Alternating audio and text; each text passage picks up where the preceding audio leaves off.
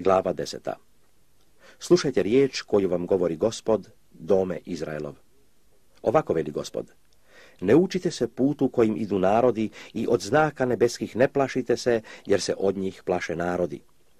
Jer su uredbe u naroda taština, jer sjeku drvo u šumi, dijelo ruku umjetničkih sjekirom. Srebrom i zlatom ukrašuju ga, klinima i čekićima utvrđuju ga da se ne pomiče. Stoje pravo kao palme, ne govore, treba ih nositi jer ne mogu ići. Ne boj ih se jer ne mogu zla učiniti, a ne mogu ni dobra učiniti. Niko nije kao ti, gospode, velik si i veliko je ime tvoje u sili. Ko se ne bi tebe bojao, care nad narodima, jer tebi to pripada? Jer među svim mudracima u naroda i u svim carstvima njihovim nema takoga kakav si ti. Nego su svi ludi i bezumni. Drvo je nauka o taštini. Srebro kovano donosi se iz Tarsisa i zlato iz Ofaza, dijelo umjetničko i ruku zlatarskih, odjelo im je od porfire i skerleta, sve je dijelo umjetničko. A gospod je pravi Bog, Bog živi i car vječni. Od njegove srdnje trese se zemlja i gnjeva njegova ne mogu podnijeti narodi. Ovako im recite. Bogovi koji nisu načinili neba ni zemlje, nestaće sa zemlje i ispod neba.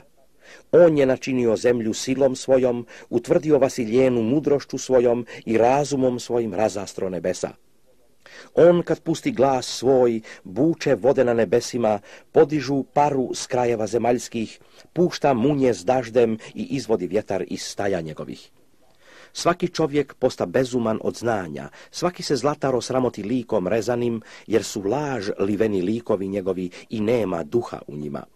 Taština su, djelo prijevarno, kad ih pohodim, poginuće.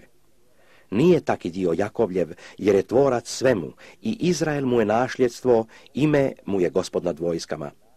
Pokupi iz zemlje trg svoj ti koja sjediš u gradu, jer ovako veli gospod. Gle ja ću izbaciti kao pračom stanovnike ove zemlje i pritjesniću ih da osjete. Teško meni od muke moje reći će.